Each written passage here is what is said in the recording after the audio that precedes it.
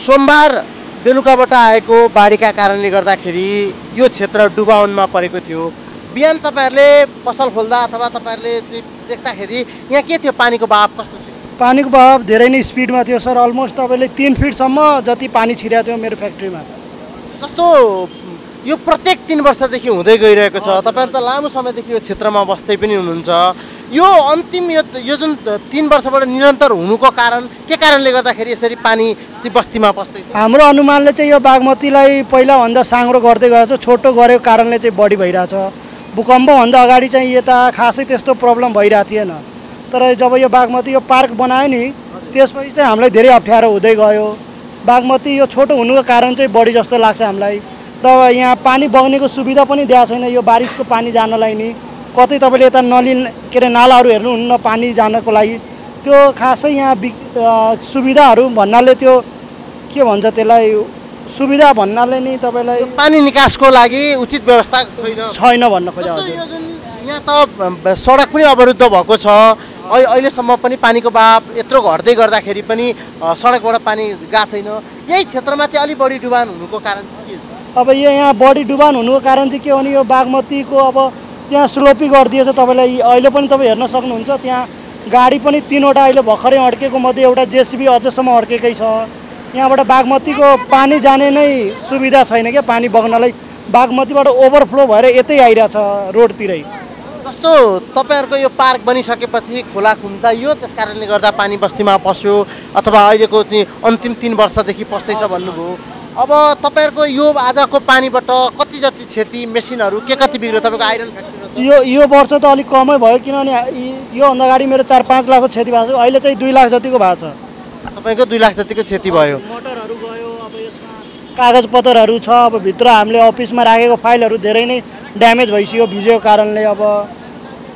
सरकारले के गरिदिए? तपाईँहरूलाई सहज हुन्थ्यो यो क्षेत्रमा हामीलाई चाहिँ यसको निकास गरिदियोस् पानी बग्नेको निकास गरिदियोस् अब बारिसको टाइममा सरकारले हामीलाई हेरोस् यो बागमतीको छेउमा अब हामीले यहाँ नगरपालिकादेखि लिएर वडा सबैलाई हामीले टाइममा सबै चिज करसर तिरेकै छु तर हामीलाई केही सुविधा आएको छैन अहिलेसम्म।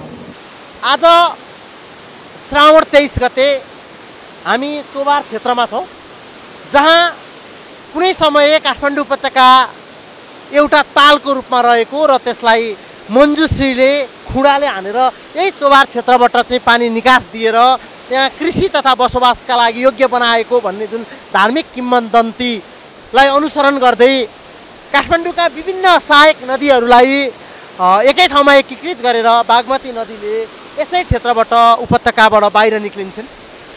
हिजो श्रावण बाइस गतेबाट परेको अविरल वर्षाले गर्दाखेरि काठमाडौँका विभिन्न क्षेत्रहरू डुबानमा परे। विशेष गरी प्रत्येक वर्ष जस्तो कपन क्षेत्र त्यसै गरी कालीमाटी तथा बल्खु तरकारी बजार जुन अहिले बल्खुमा रहेको छ त्यसै गरी कुपन्डोल क्षेत्र लगायत काठमाडौँका धेरै क्षेत्रहरू डुबानमा परे र काठमाडौँ सभ्यता समिति अथवा बागमती सभ्यता समितिले चाहिँ काठमाडौँ बागमती नदीका दुवै किनारमा पार्क बनाउनका लागि खोलाको साइजलाई घटाएर पार्क बनाएका कारणले गर्दाखेरि चाहिँ र बाटोबाट ढल तथा पानीको निकासीका लागि कुनै पनि किसिमको प्रबन्ध नहुँदा काठमाडौँका धेरै क्षेत्रहरू डुबानमा परेको देखियो। र अहिले साढे दुई बज्दा पनि निरन्तर पानीको बहाव घटे तापनि अहिले पनि यहाँ चोबारबाट तपाईँहरूले देख्न सक्नुहुन्छ पानीको बहाव कसरी चाहिँ उपत्यकालाई छोड्दैछ र समयमै सम्बन्धित सरकारवाला निकायहरूले विकास निर्माण गर्दाखेरि यदि दीर्घकालीन सोचका साथमा नगए प्रत्येक वर्ष यसरी बाढीका कारणले हुने आर्थिक मानवीय तथा व्यापारिक नोक्सानीहरू चाहिँ अझ बढ्दै जाने कुरा सम्बन्धित निकायले समयमै सचेत हुँदै काठमाडौँ महानगरपालिकाको लगायत काठमाडौँ उपत्यकाको विकासमा दीर्घकालीन योजनासहित बागमती नदीको निकासलाई चाहिँ पहिलो प्राथमिकतामा राख्नुपर्ने जुन हिजोको बाढी पश्चात अझ चाहिँ पुष्ट भइसकेको छ।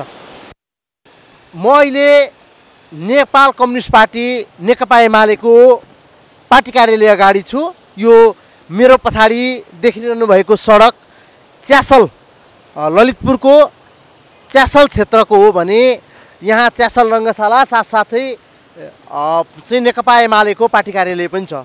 र सोमबार बेलुकाबाटै आएको अविरल वर्षाका कारण बागमती नदीमा आएको बाढीका कारण र त्यो बाढीले बगाएर लिएर आएको लेदोले अहिले ट्याक्कै नेकपा एमालेको पार्टी कार्यालय अगाडिकै बाटोमा चाहिँ लेदोहरू जमेर बालुवाहरू जमेर सवारी आगमनलाई समेत प्रभावित बनाइरहेको छ।